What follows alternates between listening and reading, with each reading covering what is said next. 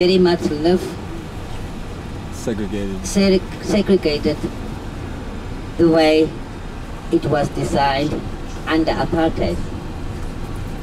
We still have black townships, colored townships, white suburbs. And of course, it is also then, it is so, it is divided on a social and an economic basis. And people then, so that over the last 25 years, within our newfound democracy, we still live, we've actually become more polarized than united.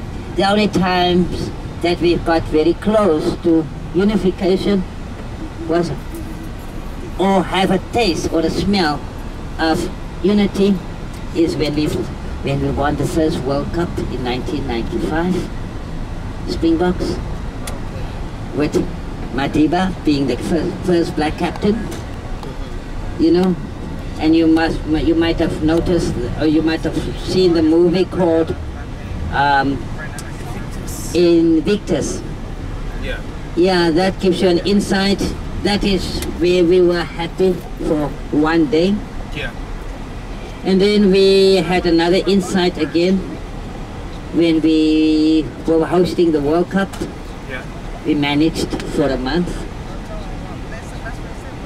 And then 12, uh, um, few, two weeks, three weeks ago, we were celebrating again the World Cup for the, for the third time. And this time we had a black captain. Um, and suddenly we started to tribalize it. Um, some of us embraced it, and others saw only the moment because we go into what is called these lapses where we where we have a taste and then we run away. And that stems from not being able to meet at a very low level. We don't meet on kindergarten level.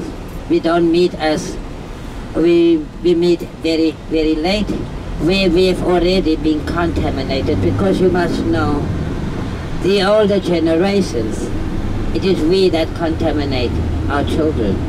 It is our it is our conditioning that will eventually condition our children. And if we haven't really have had any paradigm shift, then we cannot really improve society either, uh, or the next generation.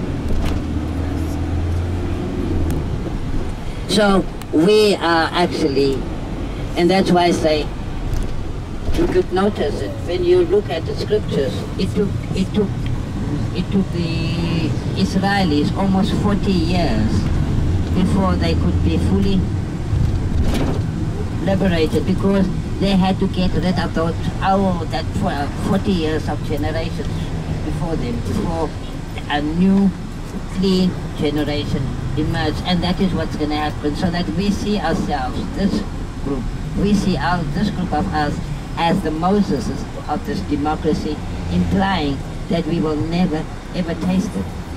But we oh. are planting the seed for the next generation. for, for the next generations to come. And yeah, for us, change is painful because we are conditioned.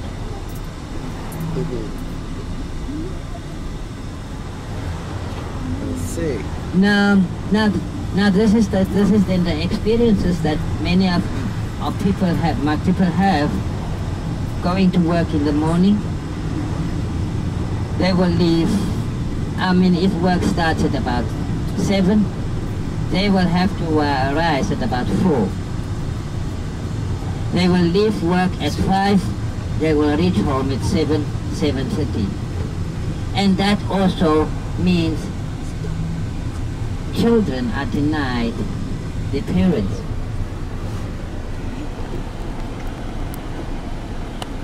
And of course, so we then have that challenge also within the townships. Many kids grow up unattended, and that will eventually give rise to high levels of crime in the township too.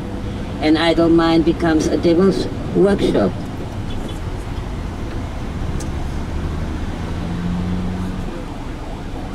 Enige vraag, commentaar?